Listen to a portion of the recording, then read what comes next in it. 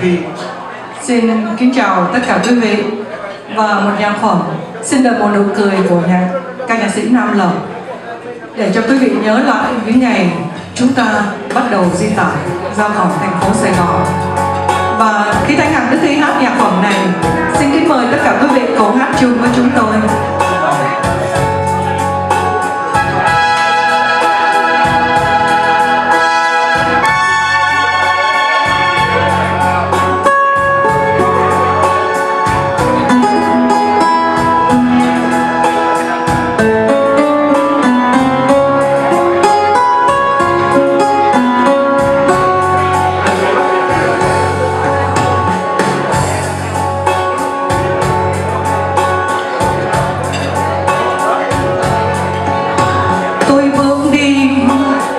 Sài Gòn.